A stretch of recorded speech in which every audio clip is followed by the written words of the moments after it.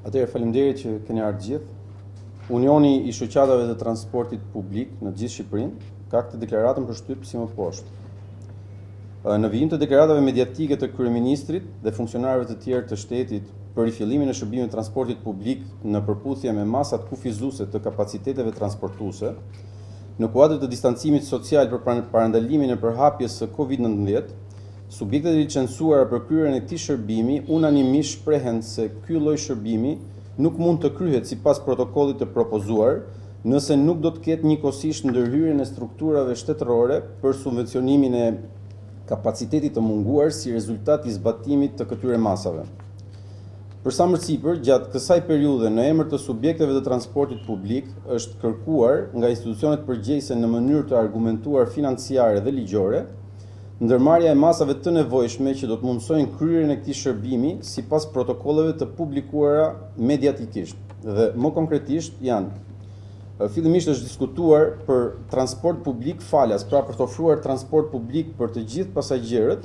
në për të gjitha kategoritë e udhëtarëve gjatë kohës së pandemisë, të garantuar nëpërmjet financimeve të organeve qendrore dhe vendore përgjegjëse, si praktikë e ndjekur nga vendet e rajonit dhe BE-së.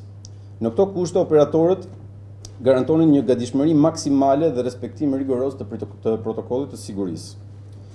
Dhe alternativa e dytë në pamundësi të realizimit të transportit falas është propozu, është propozuar organeve vendimmarrëse katër pikat që neve i kemi uh, publikuar, por po i ripërsëris, siç është subvencionimi i të ardhurave të munguara për subjektet transportuese si pasojë e kufizimit nga protokolli i sigurisë, Heqja e akcizës dhe taksave të karburantit siç është zbatuar edhe në sektorë të tjerë të ekonomisë.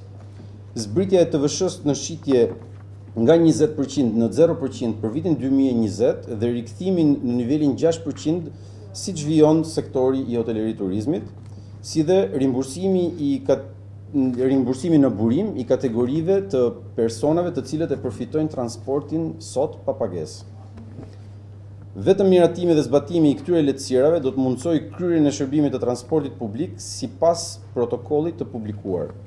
Në këto kushte, deklarojmë se subjektet e transportit publik qytetas, rrethqytetas dhe ndërqytetas, në çdo datë që mund të urdhërohet rifillimi i këtij shërbimi, do të refuzojnë kategorikisht shërbimin në linjat përkatëse në nivel kombëtar. Pra, për sa kohë ne kemi këto kushte aktuale që janë,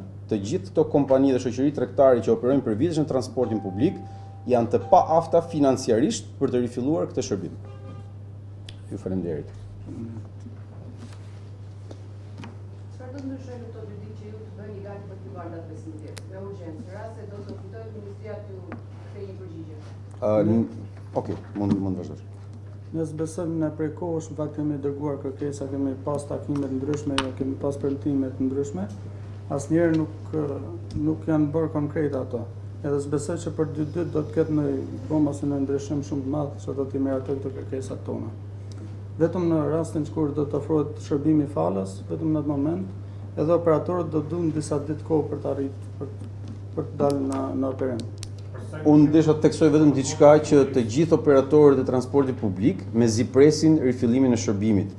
Të gjithë punonjësit në, në këtë sektor kanë përfituar pagën e dytë, por paga e dytë ishte deri me 31 maj. Tani më jemi jemi gjysma e qershorit dhe për to ë, problemi agravon çdo ditë. Që do të thotë nevojën për të dalë në për të operuar gjitha subjektet e kanë shumë të madhe. Jo sot, po që dje, pardje, të ishim punë. Po distanca 1.5 metra që është rekomanduar edhe nga OBSH-ja, dhe në kohë që ju lejohet të fusni 70% të kapacitetit në autobus, mm, dhe distanca nuk ruhet, ju e bëtë provet para... Po pikërisht ne prandaj e demonstruam, për t'ju bërë juve mediave dhe publikut në të njëjtën kohë, që është e pamundur të respektohet ai protokoll që ne kemi marrë mediatikisht ende, në një mjet të transportit Të qytetit ose dhe të ndërqytetit. Ende jo. Protokoll zyrtar akoma nuk ka. Nga tavolinat, nga këto ne në fakt e dishim që protokolli është me 50% për ndërqytetëset, për qytetëset do ishte 25 deri në 30%. Në një moment është thonë që është 70% e kapacitetit dhe Nuk mund të respektohet absolutisht distanca një pikë pesë metra, në ato kushte siç e demonstruam edhe me autobusin. Po për sa kohë mund të kemi më pak pasagjerë nëpër autobusë? Kemi neve kapacitet, le të themi, në mjete për të qarkulluar qytetarët dhe në kapacitet poshtë shtatëdhjetë përqind? Çdo çdo subjekt ka edhe mjetet rezervë përveç mjeteve që operon gjatë gjatë ditës të planifikuara. Pra çdo subjekt është i detyruar në bazë të kontratës që ka me bashkinë apo me ministrinë të ketë 20% të flotës rezervë. Pra ne do të bëjmë të mundur për të vendosur të gjithë flotën në funksion për të bërë të mundur që të shpërndahet ky fluksi dhe të mos kemi grumbullime. Keni diskutuar se çfarë do ndodh me fatorinot gjatë kësaj periudhe. Ky është një problem tjetër që ndeshet më shumë në transportin e qytetit, sepse me atë protokoll që juve e patë vetë, pra 70 për qind të ngarkesës, do të jetë shumë problem aplikimi me fatorino brenda në mjet. Atëherë qytetarët kanë pritshmëri që të hënë nis transporti rrugor. Mund na shpjegoni çfarë do të thotë gjithë na? Atëherë ne e e po.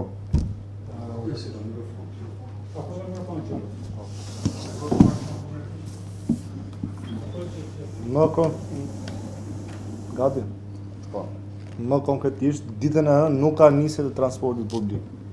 Kjo është mëse e qartë, është vendim unanim i të gjithë shoqatave të transportit, qytetas, rrethqytetas, ndërqytetas. Ditën e hënë dhe në vijim, kurdo që të caktohet kjo datë e rinisjes transportit, me këto kushte nuk ka nisje transportit publik dhe kjo është vendim unanim i të gjithë shoqatave. Po nëse nga institucionet do ketë një tërheqje për çështjen e pagesës së qytetarëve, pra që ata do të paguajnë, ju i riktheheni punës?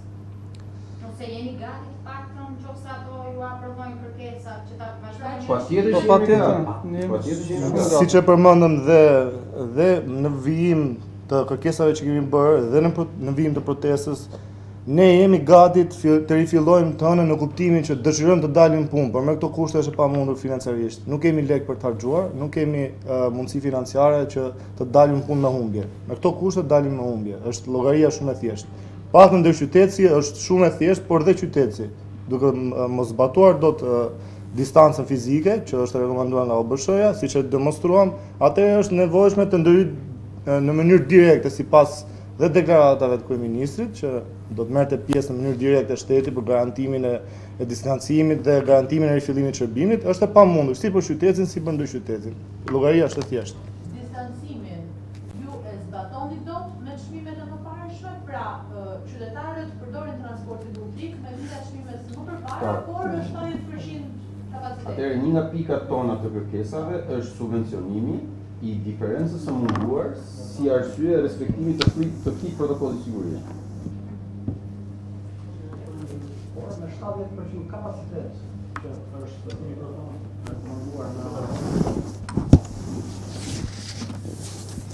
Sipas protokollit që ka...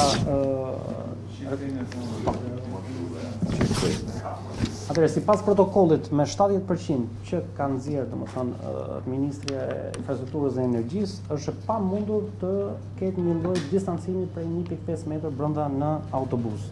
Këtë e demonstruam dhe, në prani të kamerave, Çdo autobus ka një kapacitet që duhet të duhet të ketë autobusi sipas lejes së qarkullimit dhe 70% është e pamundur të qëndrojnë brenda në autobus. Të sjell një shembull, nëse një autobus ka vende për 100 persona, për sa po. persona jeni ju dakord që mund të qëndrojnë duke respektuar distancën? Që të ruhet distanca prej 1.5 metra është 25% kapacitet brenda në autobus.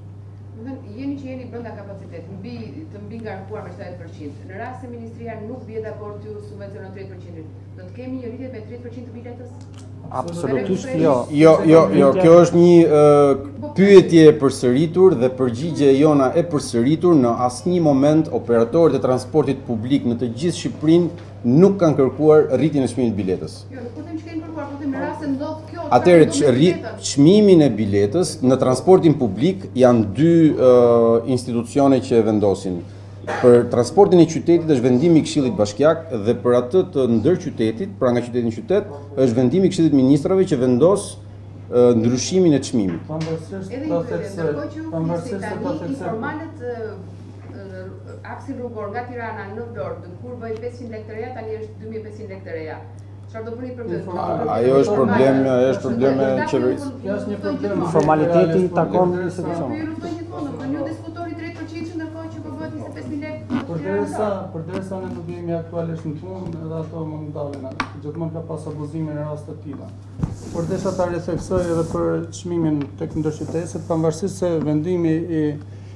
VKM-ja për çmimin për kilometër të biletave ndërqytetëse është e pandryshuar që nga viti 2007 dhe nga ajo periudhë deri sot çmimet e tjera nafta siç janë janë dyfishuar ose më shumë.